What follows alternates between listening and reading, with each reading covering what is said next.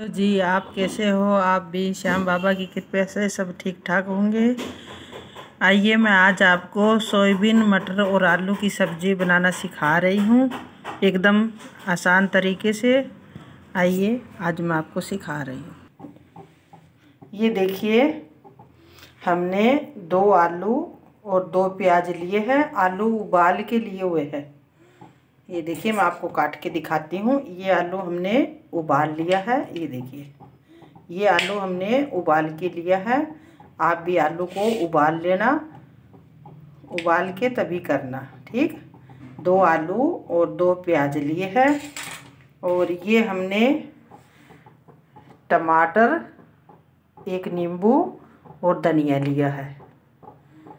और ये हमने सोयाबीन देखिए, हमने उबाल ली है, थोड़ी देर भिगो के ये उबाल ली है एकदम, ये देखिए। सोयाबीन पूरी हमारी भीग चुकी है। भिगोने के बाद हम पूरी इसको तीन चार मिनट के लिए उबाल ली है। देखिए, और ये हमने मटर ली है। ये हमने मटर ली है। और हमारा ये तेल सरसों का तेल में बना रहे हैं, क्योंकि आलू, सोयाबीन तो सभी कोई बनाते हैं। मैं आपको मटर डाल के ये सब्ज़ी बनाना सिखा रही हूँ, आप देखना। क्योंकि एकदम आसान तरीके से बना रही हूँ। ये हमारा सरसों का तेल गरम हो चुका है। हम आपको दिखा रही हूँ। ये देखिए, सरसों का तेल गरम हो चुका है। इसमें हम जीरा को डाल देते हैं। ये तब लाल हो जाएगा तो हम इसके अंदर प्याज डालेंगे। प्याज टमाटर हमने काट लिए हैं।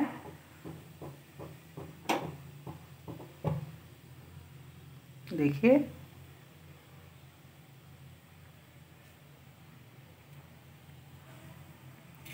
ये हमने प्याज काट लिए है।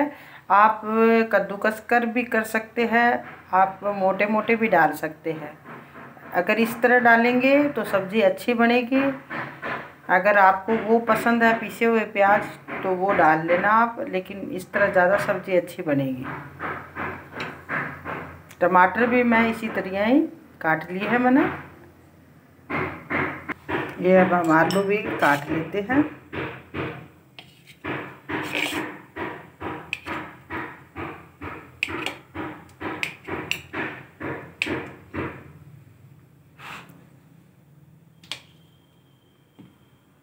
मटर के साथ इसका टेस्ट बहुत अच्छा आएगा। इस समय हरी मटर ताज़ा आ रही है।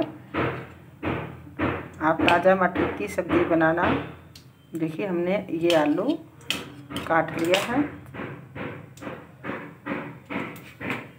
ये देखिए, हमारा ये तेल आ चुका है। इसमें हम प्याज डाल देते हैं।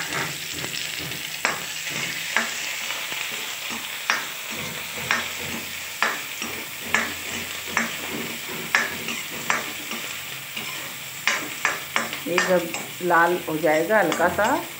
एक मिनट के लिए हम इसको थोड़ा छोड़ देते एक दो मिनट के लिए। बढ़िया पक जाएगा तो हम इसमें टमाटर डाल देंगे। काटे हैं।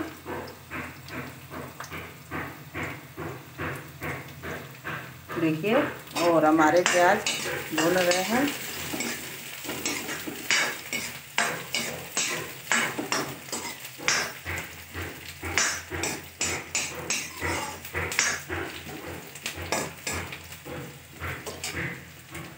हल्के ब्राउन हो गए हैं। इसमें हम टमाटर डाल देंगे क्योंकि इस समय जो टमाटर आ रहे हैं, वो खुद ही इतने मुलायम हो जाते हैं, उसको पीसने की ज़्यादा ज़रूरत ही नहीं है।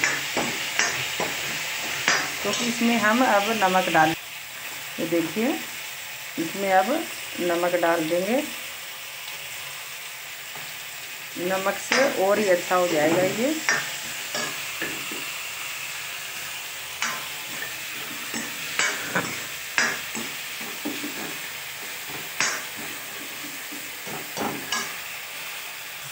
ये देखिए टमाटर हमारे हल्के मुलायम हो गए हैं। देखिए।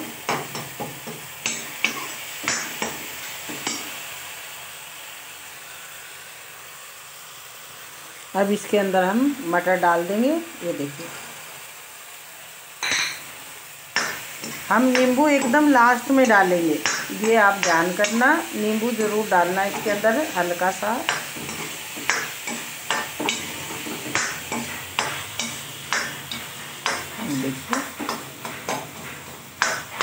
ये तीन चार मिनट के लिए इसको पका लेते हैं।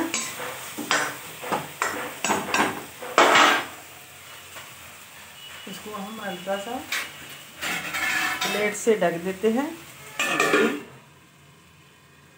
ये देखिए, दो मिनट बाद हम इसको चला लेते हैं और इसमें मसाला डाल देंगे। नमक हम डाल चुके हैं। ये हमने हल्दी पाउडर डाल दिया है।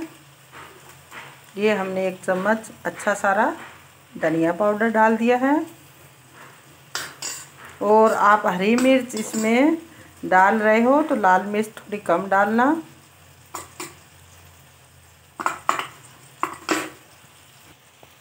ये देखिए हमने लाल पाउडर मिर्च डाल दिया है।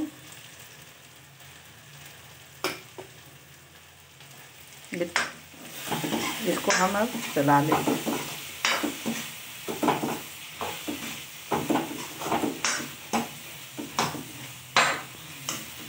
ये हमारा चल गया है चला दिया है। अब हम इसके अंदर सोयाबीन डालेंगे।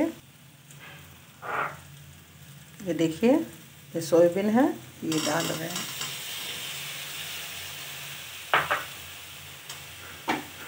इसको चला लेंगे आप। अच्छी तरह चला लीजिए आप।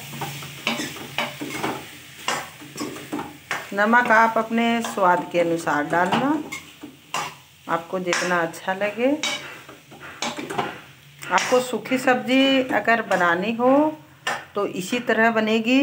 आपको रसा करना हो तो फिर इसके अंदर पानी डालना पड़ेगा। ये हमने, देखिए, धनिया, आलू और एक लाल मिर्च ली है। इसको हम काट लिए हैं। ये हम अब इसके अंदर कढ़ाई के अंदर डाल देते हैं। देखिए, ये डाल चुका है। क्योंकि धनिया इसके साथ ही डालना है आपको। देखिए, हम सूखी सब्ज़ी बना रहे हैं। रसा नहीं कर रहे इसके अंदर।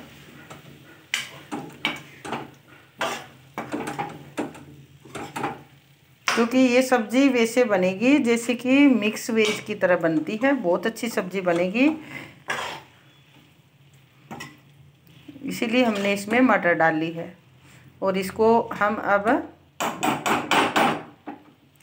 चार या पाँच मिनट के अंदर इसको पकाएँगे अब।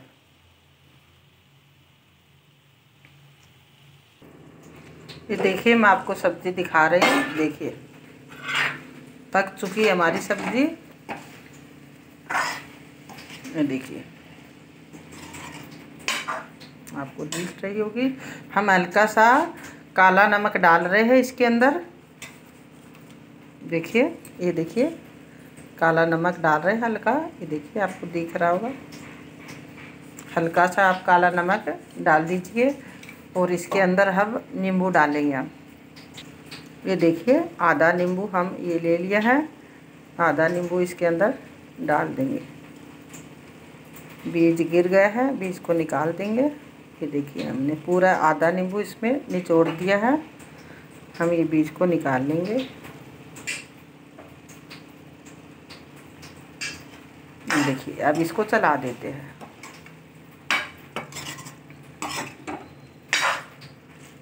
देखिए, हमारी सब्ज़ी तैयार हो गई है। आप गरम मसाला डाले तो ठीक है, नहीं डाले तो इसमें बहुत भरपूर टेस्ट आएगा सब्ज़ी के अंदर। इसको हम पूरा ये चला लिए हैं, बहुत अच्छा टेस्ट आएगा। आप रसदार करना चाहते हैं तो आप जब इसको पूरा सामान डालने के बाद जब पकाते हैं तो उसी समय पानी डालना है आपको। देख लीजिए, आपको मेरी वीडियो पसंद आई हो तो सब्सक्राइब और लाइक करना। ये देखिए, खुशबू आ रही होगी आपको सब्ज़ी की। देखिए देखिए। कल मैं आपको पापड़ की और बड़ी की सब्ज़ी बनाना सिखाऊँगी। राजस्थानी स्टाइल की तरह, राजस्थानी जो बनाते हैं, उस तरह मैं आपको बना के दिखाऊँगी। पापड़ और बड़ी। बड़ी भी बोलते हैं, उसको बड़ी भी बोलते हैं। भाषा भाषा का अंतर है। तो मैं आपको वो भी सिखाऊँगी कल सब्ज़ी बनानी। इस, ये पसंद आए तो सब्सक्राइब करना। आप इसके ऊपर मक्खन भी डाल सकते हैं। मैं आपको दिखा भी देती हूँ डाल के। ये देखिए, मैं कान्ना का भोग लगाती हूँ तो मैं निकालती हूँ। तो मैं ये मक्खन डाल देती हूँ। ये देखिए। डाल दिया हूँ। आपको आपके पास उचित हो तो डाल देना। ये हमने डाल के इसको मिला दिया है। ये हमारी पूरी पक चुकी है सब्ज़ी। जय राम जी की। राधे राधे राधे राधे राधे राधे।